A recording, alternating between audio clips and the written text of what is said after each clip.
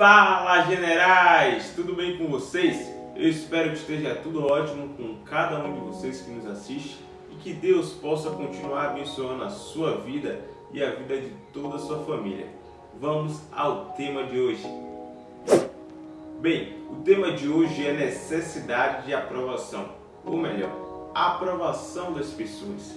Você que está me assistindo agora, em algum momento da sua vida você passou por uma situação em que você teve que mentir, em que você teve que ir fazer algo, mesmo que fosse de encontro aos seus valores, aos seus princípios, somente para agradar alguém?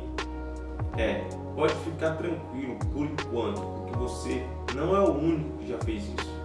Muitas pessoas, inclusive eu também, já fiz isso, infelizmente. Mas a maioria das pessoas que fazem isso é porque elas ainda não descobriram a sua real identidade. E Mateus, como é que eu consigo descobrir a minha real identidade? É quando você tem intimidade com o Pai, é quando você tem intimidade com Deus para conhecer de fato quem você é aqui na terra e o que você significa para Deus. Muitas pessoas convivem como simplesmente coadjuvantes das suas vidas porque elas priorizam ou colocam outras pessoas como protagonistas e acabam fazendo a vontade de outras pessoas, acabam fazendo coisas que elas nem gostariam de fazer somente para agradar um amigo, um colega, um grupo de colegas, um namorado, uma namorada, enfim, para agradar alguém que não é ela mesma e nem Deus. Porque pense comigo, será que Deus ele vai querer que você finja ser algo que você não é, somente para agradar as pessoas? Eu acredito que não.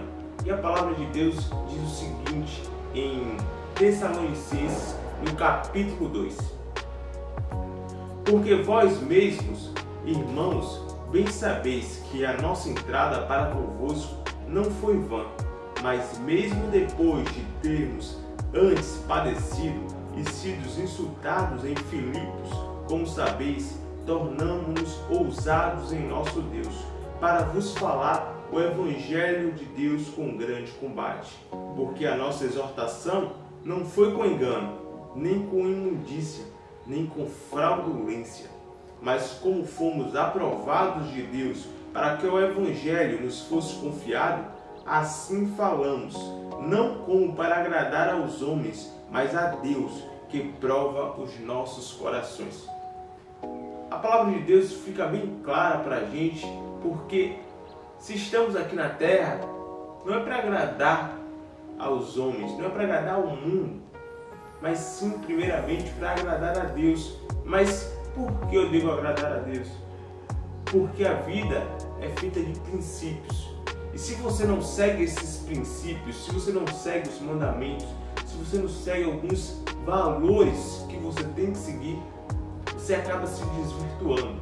Você acaba fazendo algo que muitas vezes é ilícito, que muitas vezes você sabe que está errado somente para agradar um grupo de amigos, somente para fazer parte daquele grupo de amigos. Quem aqui nunca fez isso?